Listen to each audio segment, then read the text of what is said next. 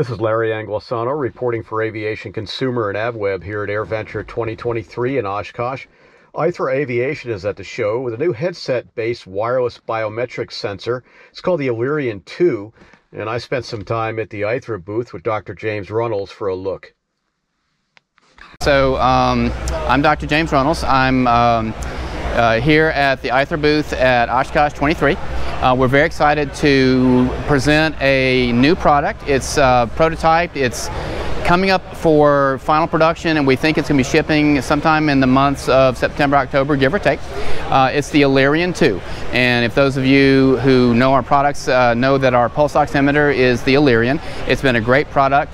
It's a continuously wearable pulse ox that you put kind of right in front of your ear or up on your forehead. It's held in place either by the headset cup or an, uh, a, a forehead headband.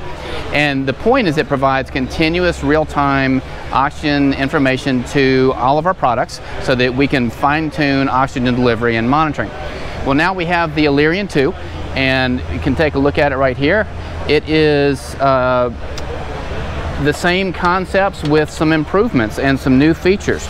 So we have a newer kinder, gentler sort of a pad. It's, it's even a better material. It'll be even more comfortable on the, on the skin. And then uh, shorter cabling, it still just plugs into basic USB power, which is on the back here. And then all of the magic happens in the, the box here. And this box can go anywhere you want on your headset. It can go up underneath. Sorry about that. Uh, it can go on the side, it can go up on the band, it can go different locations depending on what your configuration is.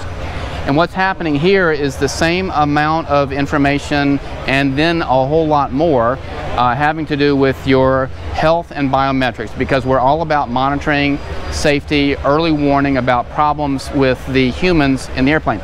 So in addition to pulse ox, heart rate, uh, you know, oxygen saturation, uh, all of the things that we've been monitoring. We've also got temperature. We've got uh, heart rate variability, which is a new thing that we're working on. We have a pressure altimeter, so if your cabin altitude uh, rises too high. We have a three-axis gyroscope, so if you become unresponsive and slump forward, we're working on algorithms to help detect. Um, if your head doesn't move for a long period of time, that can be an indication of a hypoxic symptom. So we're, we'll, and the way we're going to alert you is haptic, all right? So if anybody's had uh, a smartphone or a watch or something that vibrates in silent mode or gives you a buzz on your wrist, this does the same thing. When you, when you put it on, it's going to give you a little haptic vibration that you're going to feel all around the bones in the side of your head, your face, your jaw, up even to the top of your skull and it's a very noticeable but not startling sort of a, a, of a get your attention thing. It won't interfere with your audio and it will let you know that the system is trying to get your attention. And then based on the number of vibrations or if you look at the app or our health view, you'll be able to get the exact reason why the system wants you to pay attention. Your pulse ox has dropped, your heart rate has risen, uh, the cabin altitude has climbed unexpectedly, uh, carbon monoxide is building up in your cabin. Any of a number of things may be a reason for uh, getting uh, you know alerts from the system. Uh, all Bluetooth low energy still runs on just simple USB power. Uh, mount to any headset.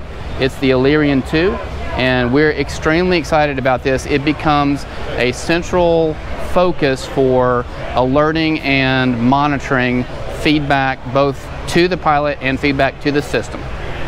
It's, it's coming out at $195, uh, which the original Illyrian is uh, is 150. It's still a great product. We're still selling them. Uh, the new one's only 195, even with all the extra magic inside, which I think is kind of amazing.